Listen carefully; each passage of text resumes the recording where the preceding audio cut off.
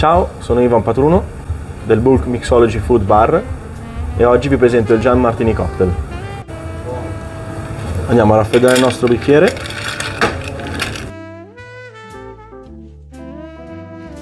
Andiamo a versare 10 ml di vermouth secco. Adesso andiamo a versare il Gian Gin. Andiamo a miscelare il drink.